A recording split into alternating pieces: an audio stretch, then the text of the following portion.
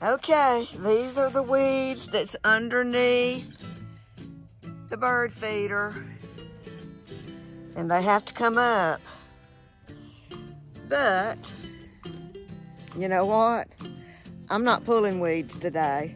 It's a cool day and it would be perfect for digging the trench. So that's what I'm gonna do. I'm gonna work on the trench. But before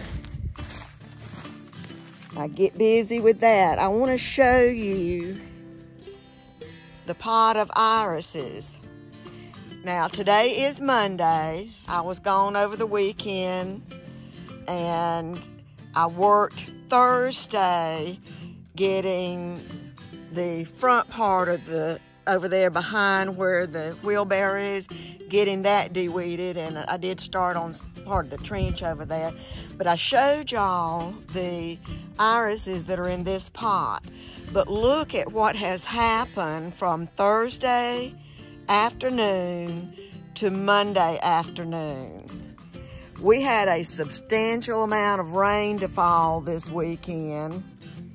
Uh, I wasn't here, so um, I didn't see it firsthand, but Gary said it was, it flooded. I mean, we had water standing in the yard and uh, there's several, several areas around, um, you know, we live on a dirt road and there's several areas around in the area of where our dirt road goes that um, were very badly washed out. So a lot of rain fell.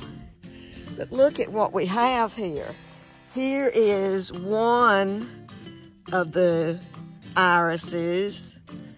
And then here is a second one.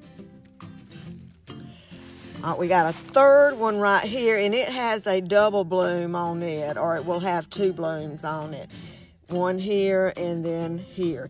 And this one will have three blooms. Here's one, two, and three. It has shot up from Thursday to now just incredibly tall.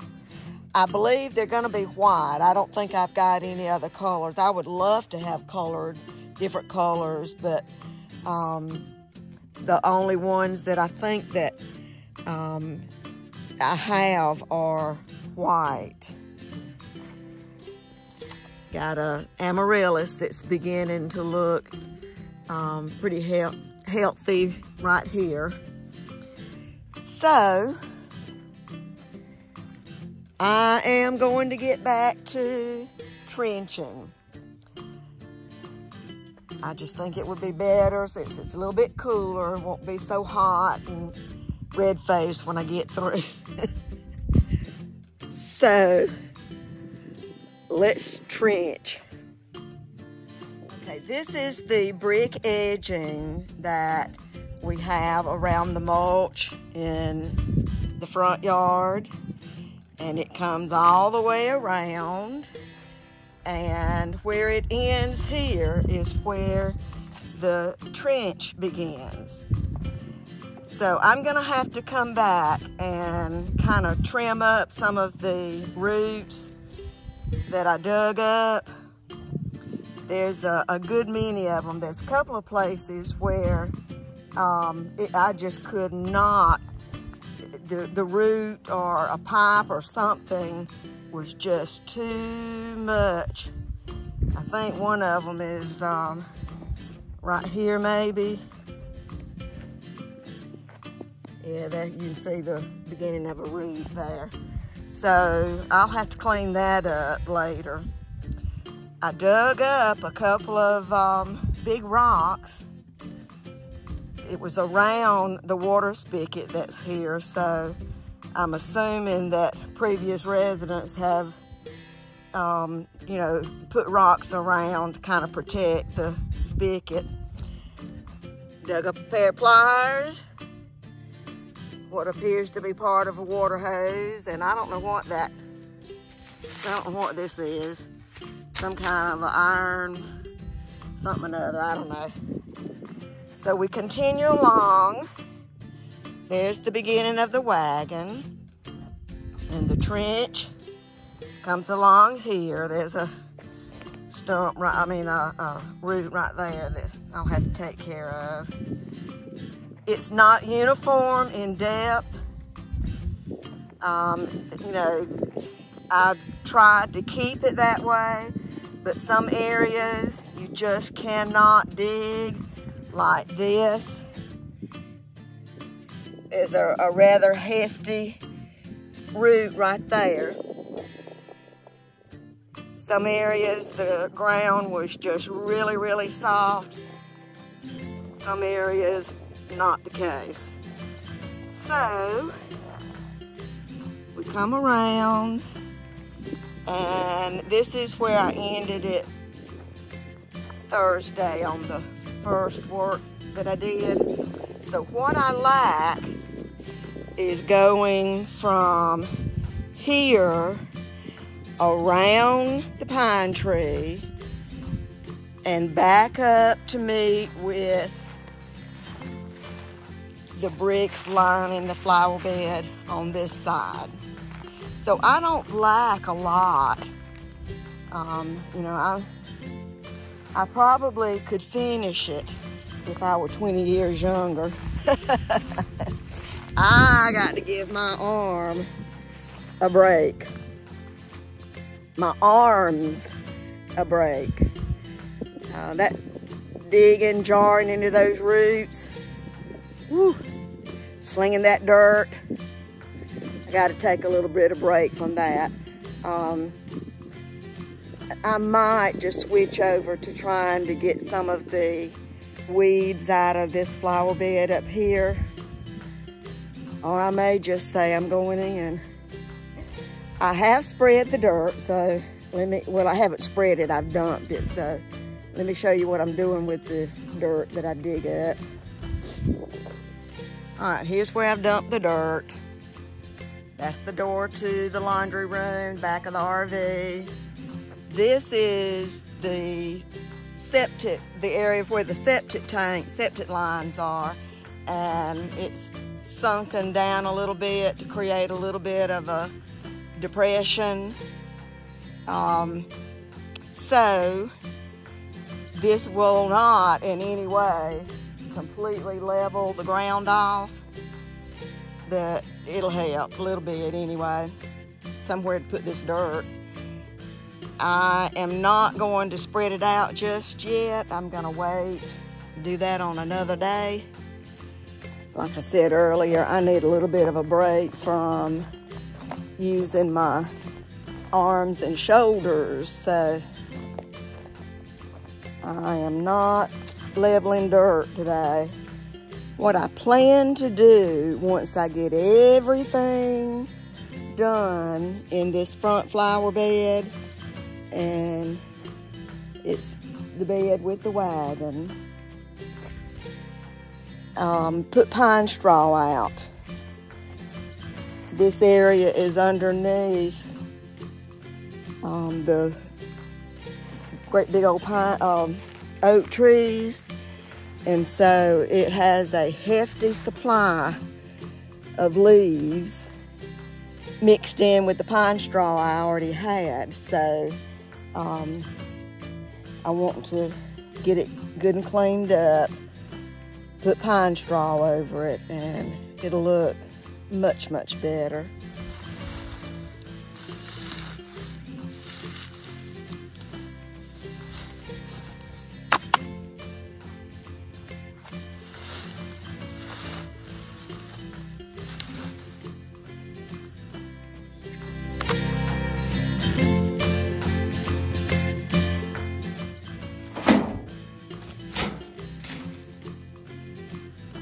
Guess what, folks? I'm through weeding. Yay! Love that finished. Let me show you around. The daffodils are dying out. They've bloomed and ready to go back to sleep. One thing that I did not do because I cannot reach and I am not crawling up under the wagon to get to it. But there's some weeds under here. So I'll deal with that some way, somehow. Here's the bird feeder. And here's underneath the bird feeder. There's nothing there except a little bit of pine straw leaves. That's the pot. I pulled them up, but look how easy it was. It came up in these mats, of weeds, see? All together, see the root system? There's about three or four of these. Um, it, it just came up that easily. And here's another one right in here.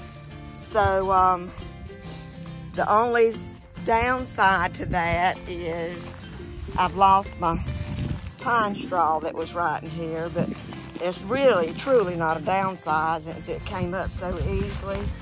But I do have two bales of straw under here that I had left over from last year and it's gonna be old so it'll work fine to put it out here. You can see the rubber uh, matting that I put down for ground cover. All the weeding is done in the front flower bed.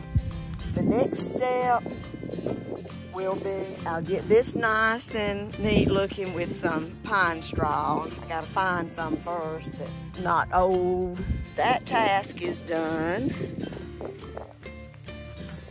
let me go show you the latest on my seedlings. So here's the seedlings. They're looking really good except for these right in here. Some of the parsley has come up. Um, some of the butterfly weed. So I've got it outside because I read where um, it said to stiffen up the leggy like this one, the leggy ones like this one, to either run a fan on them or put them in a windy area because the wind um, going back and forth on them will help to strengthen them up. So, I'm gonna leave them here. Well, I'm not gonna leave them out overnight. I take them back into the greenhouse overnight. But I'm gonna leave them out here for the sunshine and the wind. Potatoes are looking good. I read up on them again and it said when there's about six inches of greenery to put more dirt on them. So today is Wednesday.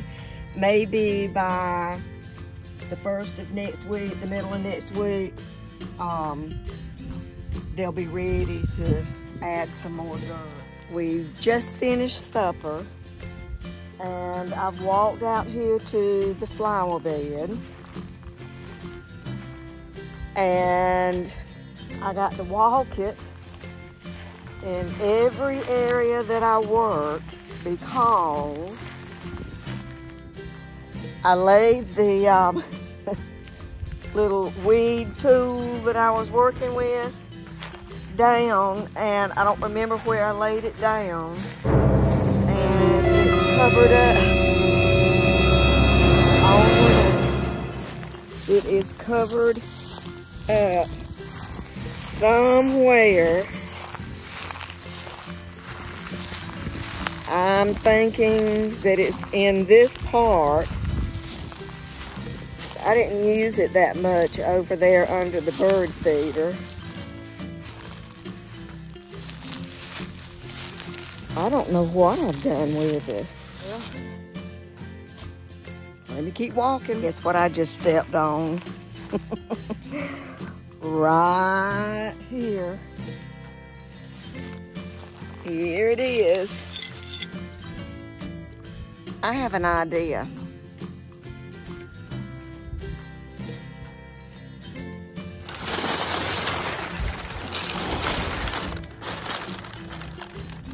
Don't have a clue if it'll work or not, but it never hurts to try. This is one long piece of paper that was stuffed in something that was ordered, some of dairy stuff. So I have torn it into a length. There's a nice little breeze blowing, so think what I'm gonna do is I'm gonna, whoops, I'm going to open it out. I'm going to lay it down right there where Ollie is um, digging in the dirt. Ollie, yeah, go on. So right here, this little strip, I'm going to cover that up. I'll put, I don't know, two or three layers. And then I'll put covering over that to help hold it in place. So, here we go. This down.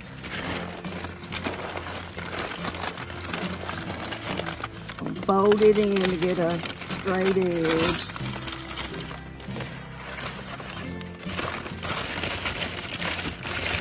Put it down. I'm putting the flower pot on top.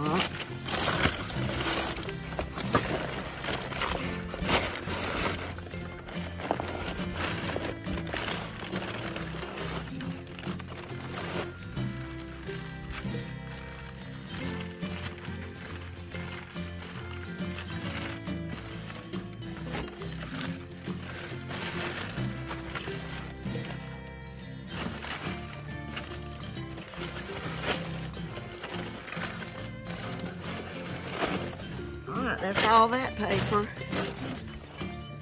I've got one more length.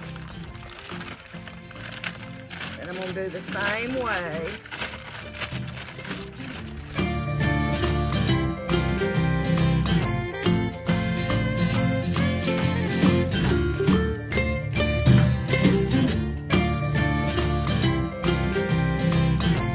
I lost count, but I think I got, what, maybe four layers of the long paper covering the back. Now the reason I put it back here is we did not have anything down as a weed barrier and where the straw was was just really really growing so put that down and then as we decide to increase this area because we do want to do a few more of the container pots with squash in particular and tomatoes.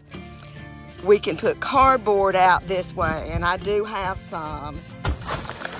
Okay, I added some boxes and I'm thinking that's about as much as far out as we'll go. We can always add more if we decide we need to, but I think this will be enough. Got a bale of pine straw. This is one of the two that I had left over last fall. It was under the wagon.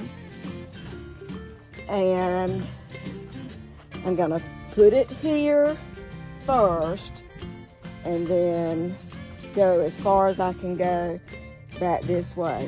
One other thing about putting paper here instead of the cardboard that I had, these potato boxes are very heavy and um, it, it just was not feasible to lift them up, get that cardboard situated. So this will work. So I put both bales of hay down. And it's a pretty decent coverage. Got two more pots out. And I've got two more. I did not do anything in this front flower bed because Peyton has a tennis match. So that's cutting half the day out.